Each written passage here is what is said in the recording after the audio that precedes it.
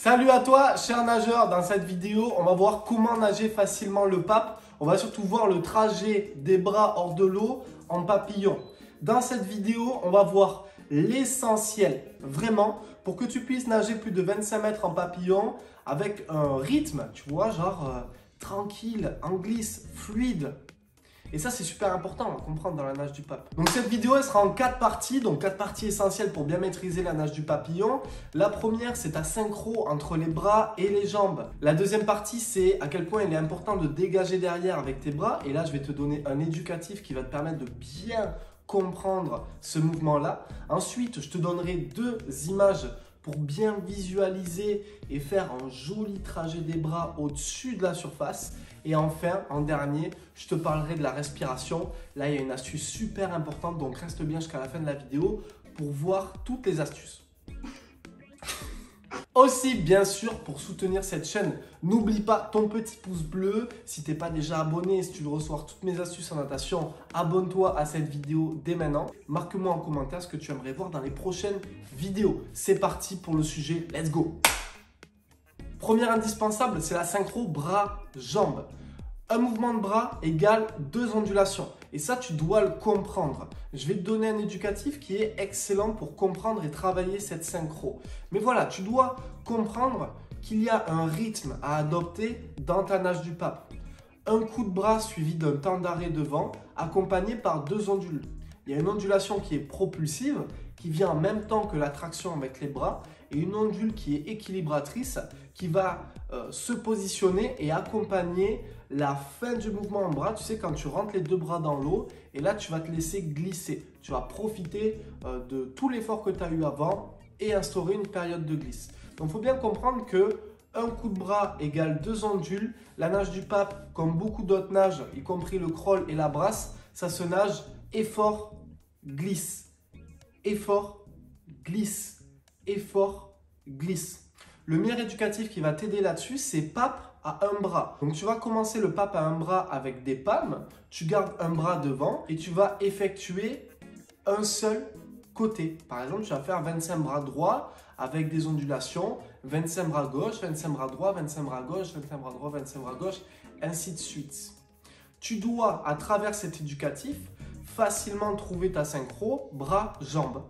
Un coup de bras égale deux ondulations une ondulation propulsive quand tu es en train de d'effectuer tes appuis avec ton bras et une ondulation équilibratrice quand tu viens poser ton bras devant. Simple, effort, glisse, effort, glisse, éducatif, pas par un bras.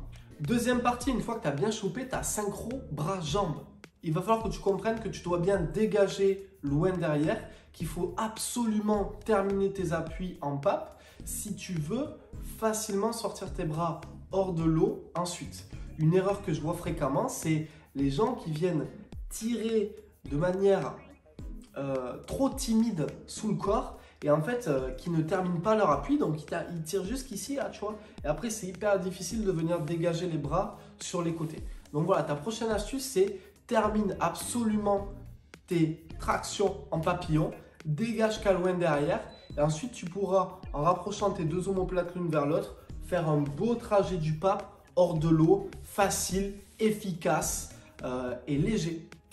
Un éducatif qui est excellent pour ça, c'est le pape Marsouin. C'est un éducatif où tu vas simplement t'amuser à préparer ta traction de bras. Donc tu prends tes bras devant comme ça, tu fais des ondulations, ondulations, ondulations. Et là à un moment donné, tu vas tirer, inspirer, rentrer la tête et tu vas simplement tirer loin derrière et ne pas effectuer le trajet des bras au-dessus de l'eau. Tu vas simplement tirer, t'habituer à tirer, ensuite tu continues tes ondulations et tu reprends ton mouvement, tu, remontes tes bras le long du corps comme ça, hop, et tu reviens en position initiale. Ensuite, tu refais le même geste sans inspirer. Une fois tu inspires, une fois tu inspires pas. En gros, c'est du papillon sur lequel tu vas optimiser ta fin de traction et surtout, tu ne vas pas passer les bras de l'eau. Là aussi, marque-moi si les deux éducatifs que je t'ai donnés jusqu'à maintenant, tu vas les essayer. Maintenant, point numéro 3, une fois que tu as bien compris la synchro et le fait qu'il faut dégager loin derrière avec les bras, ce que tu vas faire, c'est que tu vas te mettre en tête deux images pour que ton trajet du bras soit plus simple. Première image, c'est comme si tu voulais toucher les deux extrémités de la ligne avec le bout de tes doigts. C'est-à-dire une fois que tu as bien dégagé loin derrière, tu dois amener ton bras le plus loin possible sur la droite et le plus loin possible sur la gauche. Tu vois, tu dois t'étirer des deux côtés comme si tu voulais toucher les deux côtés de la ligne. Deuxième image, le dos de la main l'un vers l'autre. Là, je ne sais pas si ça passe à la vidéo, mais normalement, là, j'ai le dos de la main l'un vers l'autre et je vais garder mon dos de la main droite contre le dos de ma main gauche jusqu'au bout du geste. Ces deux images, ça va être hyper importante si tu veux effectuer un trajet du bras hors de l'eau en pape, facile et léger.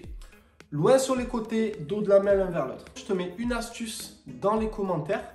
Donc, tu peux aller euh, jeter un petit coup d'œil dans l'espace commentaire. Je vais te donner une astuce écrite qui va te permettre de facilement entamer ta progression et ton initiation en papillon. On passe à une quatrième étape qui est la respiration. En papillon, l'idéal c'est d'inspirer un coup de bras sur deux. C'est-à-dire tu vas faire un coup de bras sans inspirer, un coup de bras en inspirant, un coup de bras sans inspirer, un coup de bras en inspirant. Puis, quand tu inspires, tu vas faire la technique de la mâchoire. C'est-à-dire que au moment de tirer, au moment d'effectuer ta poussée avec les bras, là, ton début de traction, tu vas envoyer ta mâchoire vers l'avant, comme ça. Vous pouvez vous amuser à le faire chez vous, à la maison, devant votre écran ou votre portable. Comme ça. Tac tu enrôles le menton vers l'avant et tu prends ton inspiration. Comme ça, ça te donne un élan d'entonage du pape. J'inspire et ce que tu dois absolument faire, c'est rentrer la tête avant de rentrer les bras. Donc là, dans cette vidéo, tu as tout un tas d'astuces. L'inspiration, deux choses à faire. Envoyer le menton vers l'avant, rentrer la tête avant de rentrer les bras. Une fois tu inspires, une fois tu inspires pas, une fois tu inspires, une fois tu inspires pas. Voilà, tu as énormément d'astuces en papillon dans cette vidéo. Si tu veux aller plus loin en natation, si tu veux avoir une nage du crawl parfaite en 10 étapes, j'ai ouvert cette semaine un club en ligne dans lequel en fait je te donne toutes mes astuces et on voit chacune des étapes les unes après les autres. Je te donne mes meilleurs éducatifs, je te les décris, je te les illustre tu vas avoir accès à tes séances PDF, à tous les tutoriels qui vont te permettre de progresser étape par étape. Et tu vas aussi pouvoir t'amuser à jauger ton niveau de maîtrise de chaque exercice sur une échelle de 1 à 5. Le lien est dans la description, je te laisse aller faire un tour. Je te rappelle que dans les commentaires, tu as une astuce inédite, donc je te la marque à l'écrit. C'est terminé pour cette vidéo, c'était Malcolm, je te dis à très bientôt, ciao ciao.